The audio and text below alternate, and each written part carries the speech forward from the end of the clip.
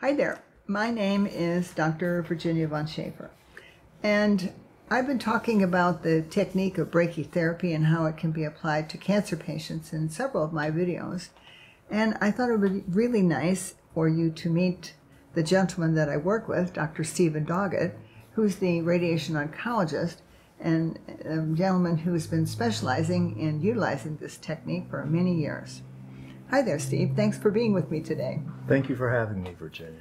So, I was wondering if you could tell people a little bit about what it is that you do and so they can get a better understanding from the person who's directly doing it. the, the technique is, is brachytherapy, which is the implantation of tiny radioactive pellets directly into the, the cancer. So the radiation then is delivered from the inside out um, mm-hmm. rather than from the outside in, as you get with the big linear accelerator radiation that's commonly used for breast cancer, lung cancer. So the side effects from brachytherapy are far less than they are with external radiation because the, the seeds are, are delivered inside the tumor and the radiation does not affect the normal tissue around it. Um, the tiny seeds are they stay in. They're permanent. They're made out of titanium. You can fit two or three of them inside a grain of rice. Mm-hmm. So we can we can implant these in many areas of the body, from the bottom of the skull all the way down to the mid, mid thighs, into any structure in, in, the body, with the exception of the heart or the central nervous system. And we've also um, found that we can use this technique um, in conjunction with systemic therapies like the kind that you're using and that the radiation and some of the agents that you're using are synergistic to each other. So adding the brachytherapy to your systemic treatment can in many cases cause a better outcome than you would get with just one treatment by itself. Well, I've definitely seen that to be true in the patients that um, I've referred to you and we've worked on together. It's pretty amazing that um, people who have lesions in the lung or the liver, other places that are even bone that are kind of hard to get at with just chemotherapy or other treatments alone, um, are more uh, successfully treated when you add the brachytherapy. Yeah, we've seen that many times, especially with patients who have um, several bone metastases, and there are some of those can metastasis can be very painful, and to undergo external radiation to multiple sites would mean many visits to the radiation therapy center, whereas we can treat all of these in one one sitting um, with the brachytherapy. It, it is done under a general anesthetic, so right. the procedure itself is, is not painful for, for the patient at all. Mm-hmm. And then, um, how do people feel after they've had the brachytherapy? They generally don't have much discomfort at all. Usually, um, any discomfort they may have from the actual needle puncture is usually managed with Tylenol or, or Motrin. It's, it's mm-hmm. very there's very minimal pain afterwards, and they generally do not have any of the side effects that you get with external radiation, like generalized fatigue, nausea, vomiting. Those things don't happen. Mm-hmm. Well, I think it's been very successful for people. You know, together we've had some truly remarkable results. Um, we, we certainly have, and especially with um, some primary tumors like um, breast cancer, we have had several several of your patients that we've treated with brachytherapy in addition to the systemics that you've given them without a lumpectomy or mastectomy, and at one or two years uh, follow up, they're still cancer free. Yeah, I think it's pretty fascinating that in many of these patients, um, their follow up PET scans and imaging uh, are read to show that the patient has had surgical excision of the breast mass, uh, when in fact it just disappeared. That's exactly right. Um, it doesn't happen for everyone, and it's not the correct treatment for everybody, but in many, many situations, it, it's very effective. Mm-hmm. We've had some studies published that show for patients who have metastatic cancer in both lungs, for example, from salivary gland cancers. Mm-hmm where we've had follow up at, at three years, um, where every every one of the lesions that we implanted with radiation seeds, um, the, the, the, the, cancer has now disappeared and mm-hmm. they're cancer free in the sites where the seeds were placed. Um, we've had uh, another series that we published of lung cancer patients. They were both primary as well as recurrent lung cancers that we treated with brachytherapy. And the, the five year um, local control, where there was no cancer seen in those patients, was 100%. So it can be used for, for lung, any form of, of cancer in the lung, whether it's spread from another cancer or, the, or primary lung cancer. Can be treated with this technique in addition to the systemic treatments that you provide. Mm-hmm.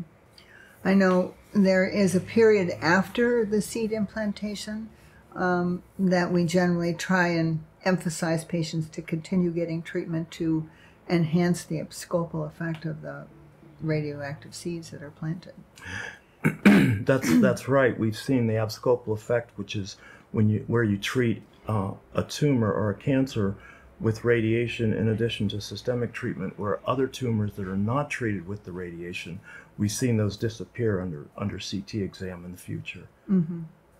So it's a really fascinating thing, and I don't know. I just think it's really great, but I kind of wonder why many people don't do this.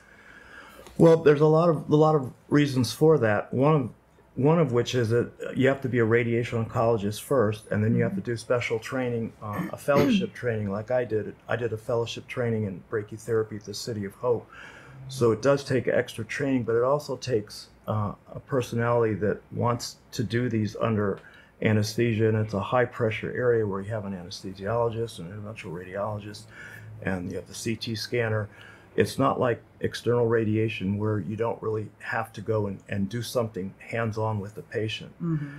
Another reason is that, in terms of the cost to the payer or the patient, it is one of the lowest cost ways of treating uh, patients with, with radiation is the use of brachytherapy. Well, I think it's pretty amazing. And um, I think of the patients that have had breast lesions, and I think now there's about a dozen of them. Um, they've all done very, very well. Of course, patient selection is part of the process uh, and helps get a successful result if sure. the patient is chosen properly. Sure. Um, but I think it's uh, going to be a challenge in the future to even lumpectomy for people. I would agree with you on that. I recently had a new patient I examined, and she had cryotherapy, the freezing, which, you know, I know has kind of went in and out of vogue pretty quickly because of the recurrence rate yes. at the site of treatment. Uh, but I noticed in this patient, the site of the cryotherapy was hard as a rock. And it was done a number of years previously, and it never went away. Whereas many of the patients that we've had uh, who treated in this way, uh, the lesions are pretty much gone or a receding scar. Yes, and then the breast tissue itself is the, the, the, mass that was felt originally. You can still feel a tiny little bit of scar tissue, but generally the contour of the breast, for example, remains the same. It's not altered by lumpectomy or, of course, mastectomy, which is you know a much more disfiguring procedure. Well, and then of course, if somebody chooses a procedure like that, then their option for reconstruction or uh, repair of the defect um, requires more procedures, more times under anesthesia, and less time living life cancer free. Yes. we, we've also seen um, that for patients that are having other forms of treatment, like like you mentioned, cryosurgery. There's also radio frequency ablation. There's microwave ablation. Those those treatments in in the lung, generally, um, the effectiveness compared to brachytherapy is about the same. The issue is that when you have several lesions, like three, four, five lesions in one lung, to to use uh, radio frequency or microwave therapy or thermal ablation or cryosurgery, it's going to be difficult to treat that many lesions with any of those techniques. With the, the brachytherapy, we've treated as many as 20, 20 lesions in one lung in one patient in less than an hour. Mm-hmm. So the time spent under anesthesia for the patient is much shorter than it would be for any of the other treatments. Plus, you can treat many lesions. Many of them, yeah. I think that's the big point of comparison with uh, even the up and coming histotrypsy, you know, the ultrasound um, procedures.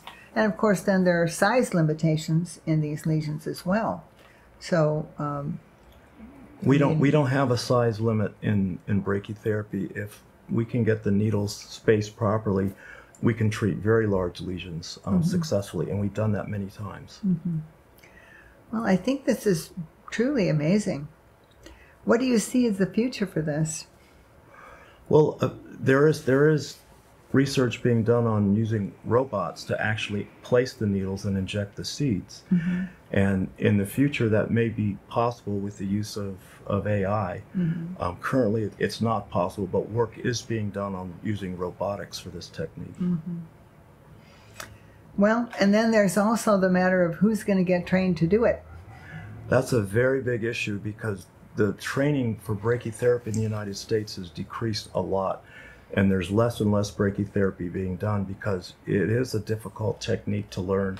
You have to practice it and do it frequently in order to remain really competent and good at it. Now, it was popularized in treating prostate cancer. Um, and I guess that's not something that you do at this time. Is that correct? No, I, I, I've used I use it for occasionally for patients that have a solitary prostate lesion. I can do that with a single needle implant. Um, we can do that successfully, and we have done that. Um, so it, it's a possibility for patients that have once localized lesion. We can get a needle directly into that area and treat it successfully. Well, that's awesome. Is there anything else you can share with um, the people here who are kindly watching us? It's a very effective treatment, and I would I would emphasize that anytime you're going to do a local treatment for cancer, whether it's brachytherapy or um, cryosurgery or histotrypsy, any of the local treatments, they require systemic treatment in addition. For one of the reasons we mentioned, you know, that the synergistic effect of uh, radiation seeds on your treatments, Right. but also because anytime you have cancer, you're going to be shedding off stem cells and cancer cells into the circulation, and those need to be treated with systemic treatments. Yep. So there's always a difference between being tumor free and being cancer free.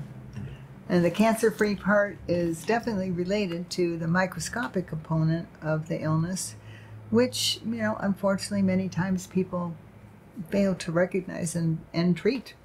And I think it has to do with recurrences, maybe not in application of this technique because the recurrence rate at the site of treatment is so low. But there's always circulating tumor cells and stem cells floating around and could potentially cause trouble. I would agree with that, that the, the excellent results we've seen in patients we've treated together is generally generally because primarily that the, the, the systemic cells have been destroyed by your systemic treatments and they don't go on to seed elsewhere in the body and cause other tumors elsewhere.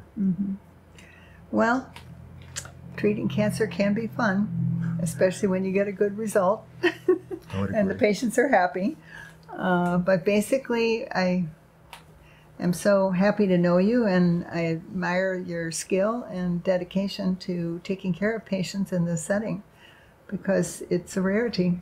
I appreciate the same the same in you that you're dedicated and have great compassion for your patients. Well, thanks. Anyway, thank you so much for coming today, and I hope this little conversation of ours has helped shed some light on this very interesting and effective technique.